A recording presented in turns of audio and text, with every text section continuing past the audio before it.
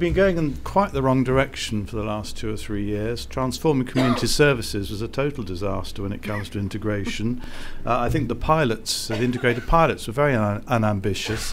And we've been moving rapidly uh, uh, along a secondary care focus. Unless we can actually get a focus on primary care and maybe a little money into it, a lot of this is extremely abstract. I do think uh, the policy of clinical commissioning groups is is the way to do this and I would uh, guard against too many edicts on CCGs. Uh, last week it was about them having to innovate, this week it's about them having to integrate, next week it'll about, about them doing the waltz standing on their heads. And I would suggest not too much of that because that's precisely what they're there to do. You know, we do need innovation, we do need to do things differently. That's going to come in many different ways.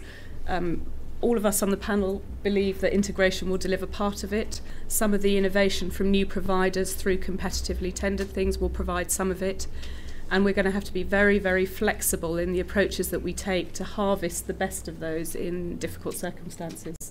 The mandate between the Secretary of State and the Commissioning Board could be a very important lever, we think, uh, there is a strong argument for having a specific, clear, and measurable goal, uh, not a target, a goal, around integrated care that would be the equivalent of 18 weeks for integrated care. Surely, what integrated care means is making a difference for you know, Mrs. Smith, Mrs. Ackroyd, or whoever our exemplar uh, patient uh, should be. And maybe what we should do is put some of these things in the NHS constitution. Patients don't know what's a good service or a bad service or what they've got on offer at the moment. But as we can mobilise patients to take more control and make more decisions about where they go for the care, then they'll start to be asking questions as well. If there is an issue here about renegotiating the GP contract, you keep with the existing contract and you say, as well as that, for those who wish to, this is entirely voluntary, there is another offer here. The contract that would incentivise a wider range of care to be delivered in primary care with the emphasis on integration, with the emphasis on quality. Uh, my worry is less about the CCGs who want to move forward, but in some areas, clusters holding them back. Uh, and in other areas, the CCGs for some reason waiting for the rules or the permission to move forward. People just need to get on with this and do it. And if we don't grasp this now, uh, I think we'll end up with a centralised, micromanaged system which is even more fragmented than we've got. There is something about hearing about what's happening in a more constructive way. It's about building a movement.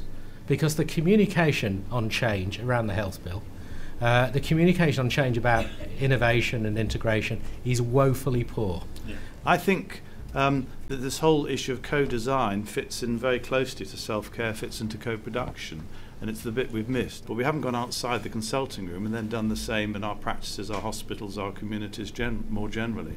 The only way this will be long-term sustainable is with the patients, the public, local citizens owning it. Now, you think those GPs in here who think they've got patient participation groups like ours, um, how effectively patients really get engaged in the provision and design, even in a practice. And then you think how it works in most hospitals and most PCTs at the moment. I think there are several winds blowing in the right direction. The internet is one of them. Holding your own record is another thing. The maternity record, the child health record illustrate that people don't lose them, that they're interested in them, they know what's in them.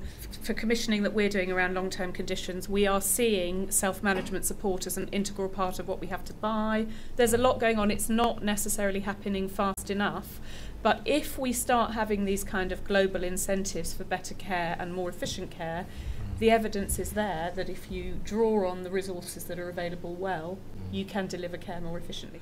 The next major issue I think that we haven't really bottomed out is the L word, the leadership, it's the relationships. That's what gets rid of the them and us, and there's plenty of them and us around. If we're going to transform services, huge amounts of what you need to do are build the relationships.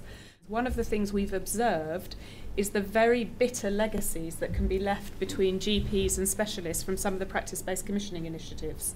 You really have to work out where the relationships between generalists and specialists are going to work best. So, ladies and gentlemen, can we just have a thank you for the panel and then I'm going to hand over to Chris to sum up.